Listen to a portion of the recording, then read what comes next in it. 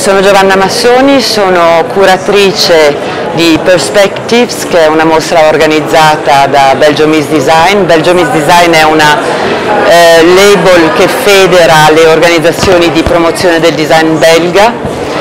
Um, siamo per la prima volta in triennale, eh, siamo molto eccitati, io personalmente perché sono una milanese, figlia di un designer, quindi conosco la triennale da molto tempo e è un po' un traguardo per me. Eh, eh, abbiamo deciso di proporre una mostra che rientri sempre in un approccio abbastanza rassegna perché un, il cliente un, del, sono delle istituzioni governative, quindi eh, rimaniamo sul, su, sul, su una visione piuttosto aperta e panoramica sul design belga, però quest'anno l'idea è stata quella di eh, proporre un design che non è solo il design del, prodo del, prodotto ma anche un design che si occupa di eh, sociale, che si, si, occupa di pubbliche amministrazioni, si occupa di ambiente e di, eh, di emergenze ambientali e dove si parla pro proprio di un design un po' diverso, cioè di, del ruolo del designer eh, come consulente per un'amministrazione migliore per esempio.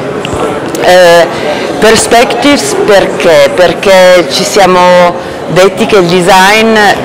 che si fa nel presente, quindi deve avere un, un utilizzo, effettivamente un'agilità, un'efficacia nel presente, deve sempre di più pensare a quello che succederà domani, quindi che sia un, un design a effetto duraturo e soprattutto eh, con un effetto etico e eh, possibilmente aperto alla partecipazione con, con il pubblico, con il cittadino eccetera eccetera. Eh, abbiamo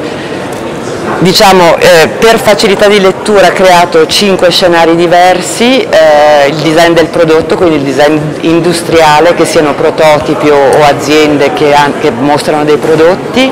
il eh, design autoprodotto, che è un nuovo fenomeno e che in Belgio si sta estendendo molto velocemente e, e, e ha ragione, nel senso che il Belgio non è l'Italia, ovvero manca un tessuto industriale forte, quindi il designer prima di aspettare di essere prodotto all'estero incomincia ad autoprodursi, ma è spinto all'estremo perché il design autoprodotto può essere del prototipaggio rapido in ceramica per cui si, si, si accede addirittura a un'area di eh, eh, design open source, di prototipaggio rapido e quindi anche a tecniche digitali che vanno oltre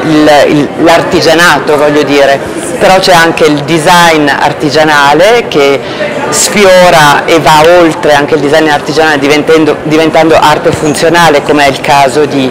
eh, Danis Lachar che vediamo magari dopo o come è il caso di eh, Kasparamacher che incide il suo, il suo, legno con la sua forza, eh, questo grande ragazzo che vive nelle, nelle in mezzo alle foreste e che ama lavorare il legno. Eh, e poi appunto si arriva a, a dei prodotti in cui c'è un discorso di riconversione o di materiali o di produzione industriale, è il caso, lo vediamo dopo, di un tappeto che è fatto con delle cinghie industriali ma tessuto a mano,